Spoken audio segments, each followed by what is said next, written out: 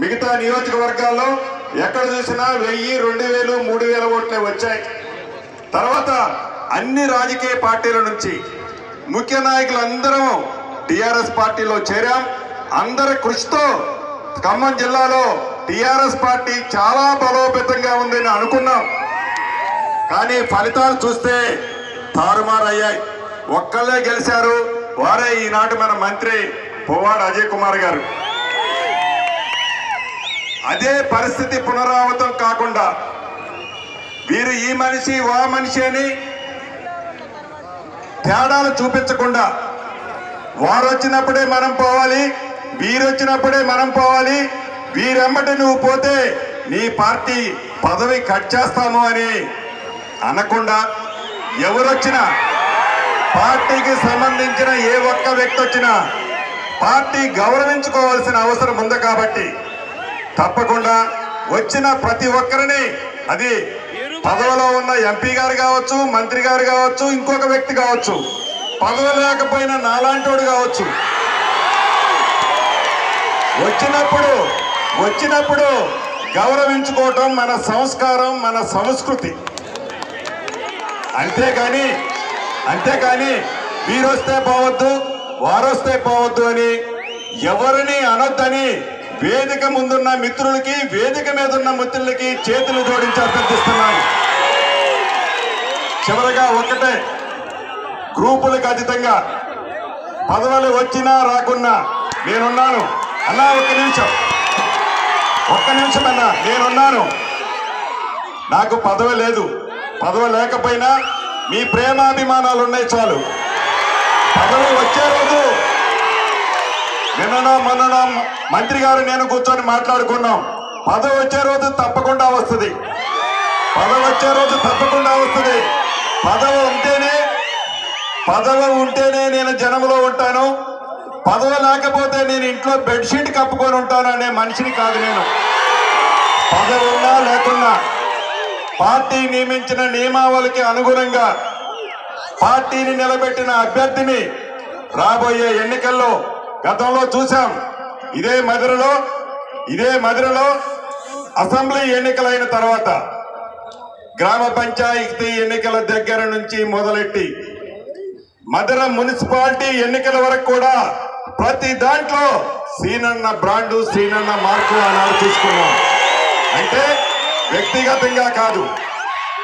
Party కోసం ఎవరైతే party సభ్యుల్ని వేదిక మీద ఉన్న మహామౌలు టిఆర్ఎస్ పార్టీ నాయకులు వేదిక ముందున్న మా ఈనాటి ఈ స్థితికి కారణమైన ప్రతి ఒక్క కార్యకర్త నా టిఆర్ఎస్ కుటుంబ సభ్యుడు ప్రతి ఒక్కరికి ముందుగా శిరస్సు వంచి నమస్కారం చేస్తా ఉన్నా. టిఆర్ఎస్ పార్టీ ఇవాళ ఒక మహాసముద్రం. టిఆర్ఎస్ పార్టీ ఖమ్మం జిల్లాలో కంచు కోట లెక్క ఉన్నది. టిఆర్ఎస్ పార్టీ ఈ రాష్ట్రాన్ని సాధించిన పార్టీ. దాని సారథే ఉద్యమ సారథి.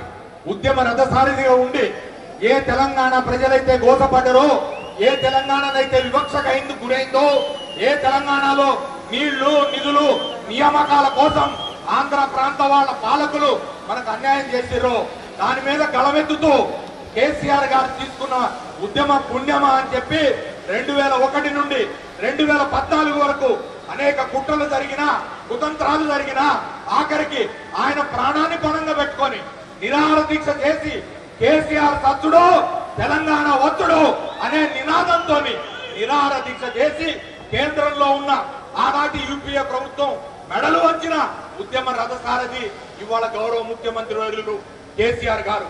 చాలా మంది చాలా రాష్ట్రాలకి ముఖ్యమంత్రులు ఉండొచ్చు కానీ మొన్ననే కేసీఆర్ కేటీఆర్ గారు చెప్పినట్టు మన రాష్ట్రానికి ముఖ్యమంత్రి ఈ రాష్ట్రాన్ని సాధించిన ఉద్యమ రథసారథే మన ముఖ్యమంత్రి. ఒక్కసారి కాదు రెండు రెండు సార్లు ప్రజల ఆశీర్వాదంతో ప్రజల మన్ననలతోని అద్భుతంగా టిఆర్ఎస్ పార్టీ మరి అధికారంలోకి వచ్చింది. ఒక్కసారి ఆలోచన చేయాలా? ఏ పార్టీ అయితే ఈ తెలంగాణ అస్తిత్వం కోసం పోరాడి ఏ పార్టీ కోసం అయితే దెబ్బల్ని ఏ పార్టీ కోసం అయితే జైళ్ళకి వెళ్ళి ఏ పార్టీ కోసం అయితే ఉద్యమం కోసం అయితే ఉద్యమం చేశారో ఉద్యమ నాయకులు ఉన్నారో లేదా ఆ ఉద్యమంలో అసూలు బాచిన అమరులు ఉన్నారో వాళ్ళ ఆత్మ సాక్షిగా చెప్తా ఉన్నాం. ఇంకా చాలా మందికి న్యాయం జరగాల ఈ పార్టీలో.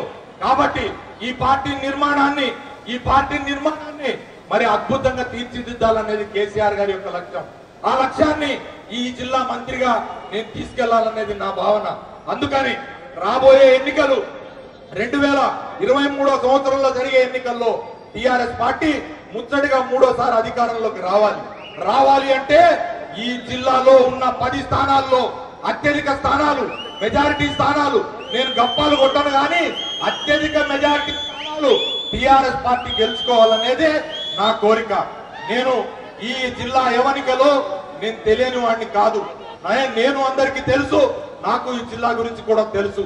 జిల్లా రాజకీయాల గురించి కూడా తెలుసు. నాకు ఒక్కటి అవగతం అవుతుంది అనేక సార్లు కొండబాల గారు కూడా నాకు శిక్షణ ఇస్తా ఉంటారు. ఎందుకంటే వారి దగ్గర శిక్షణ తీసుకుంటే గొప్పగా రాడు తేలుతాం. వారు అప్పుడప్పుడు కూడా చెప్పారు నాకు. అజయ్ గారు ఈ జిల్లా చాలా కాలం కమ్యూనిస్టులను మోసింది అప్పటి వరకు కమ్యూనిస్టులకు కంచుకోట ఉంది. ఆ తర్వాత నిదానంగా ఈ జిల్లా టీడీపీని మోసింది టీడీపీ కూడా కొంతకాలం ఈ జిల్లాలో బలంగా ఉంది. ఇప్పుడు ఈ జిల్లా ప్రజలు నిర్ణయం తీసుకున్నారు.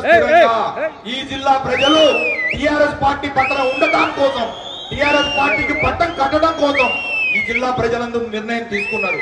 ఒక్కసారి ఖమ్మం జిల్లా ప్రజలు కమిట్ అయితే మళ్ళీ వెనక్కి పోరు.